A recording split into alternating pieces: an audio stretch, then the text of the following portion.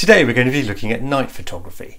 Photographing on the streets at night is a wonderful way to make dramatic, stylish and atmospheric images.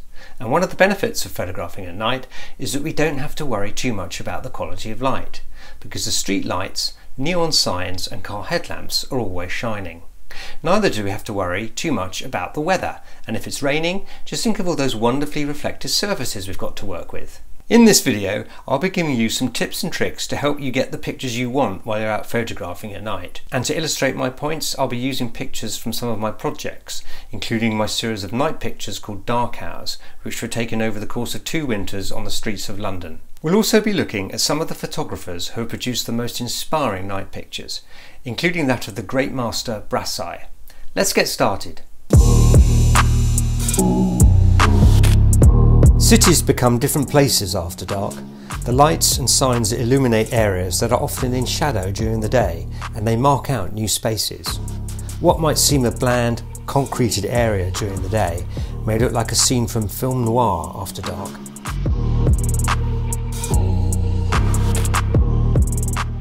Eerily lit streets, dark corners brought fleetingly to life by a car's headlamps. Window lights reflecting in a pool of water. There is much to inspire. And with shadowy figures moving in and out of the light, the atmosphere couldn't be better. One thing I've always liked about photographing on the streets at night is that it's easy to keep a low profile. If you're anything like me and rather self-conscious about street photography, then the night hours allow you to hide in the shadows. The main thing to remember is to try to work in areas that offer good main light sources. This will make it much easier to isolate your principal subject and any additional lighting coming from shop windows or passing traffic will add to the mood and create a little decoration if required. Often, the best night pictures are those that infer rather than inform. What may be out of sight or lurking in the shadows will help to give a sense of mystery. One thing to remember is that the amount of detail you capture is likely to be a lot less than when you're shooting during daylight and human figures will often appear as silhouettes. Therefore, it's important to try to represent them as animatedly as you can, so that they don't just become a featureless blur. A person walking will look much better if caught in full stride. If they are standing still, they will benefit from being under a strong light or some form of illumination to make them recognisable.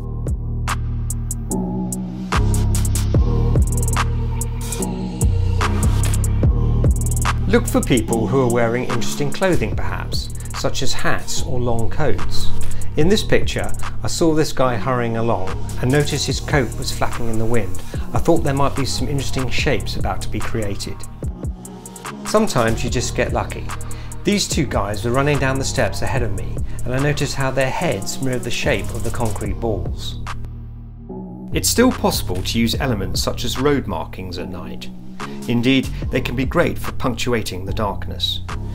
With the deeper shadows dominating, their presence can add a strong, hand-drawn or graphic look. If you want to try for some candid portraits, places such as bus and train stations are perfect. They are usually well lit and they often have waiting passengers. I noticed this couple who appeared to be saying goodbye to each other outside King's Cross train station. I didn't want to impose, but I had to get the picture. When starting photography as a teenager, I realised that having a day job wasn't really conducive to wandering the streets with my camera. By the time I finished work, there was precious little daylight left. On a visit to my local library, I came across the work of the great Hungarian photographer Brassai. The library had one well-thumbed copy of his seminal work, Paris by Night. This was to be my study matter for many years to come. His pictures of Paris give a fascinating glimpse of the city and its many characters during the years between the First and Second World Wars. You get a real sense of the place and the people who inhabited the dimly lit bars and smoky nightclubs. The book immediately triggered my imagination and led to my spending many hours after dark roaming the streets of the small town where I lived, trying to recreate Brassai's pictures. Little hope of doing that in my small provincial town, but it did make me realise that street photography continue right around the clock. I'll be featuring more of Brassai's work in future videos, because there's much we can learn from this master photographer. In the meantime, there are a number of books available on his work.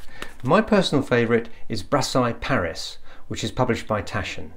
Other photographers whose work has influenced me for low light and nighttime include Bruce Davidson and his intoxicating series of pictures taken on the New York subway during the 1980s, and Bill Brandt for his photographs of London at night taken in the 1930s. I also love the work of Japanese photographer Daido Moriyama. His pictures highlight the urban sprawl of modern day Tokyo and Japan.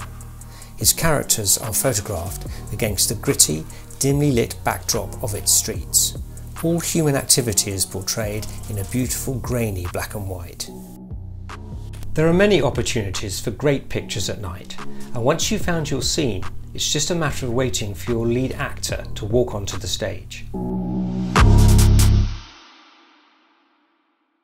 That's it for today. I hope you've enjoyed this video. If you have, please hit the like button and be sure to subscribe if you wish to keep up with future videos. See you next time. To see more of my work, visit my website at www.rupertvandervell.co.uk and check out my book, Fine Art Street Photography, available at Amazon.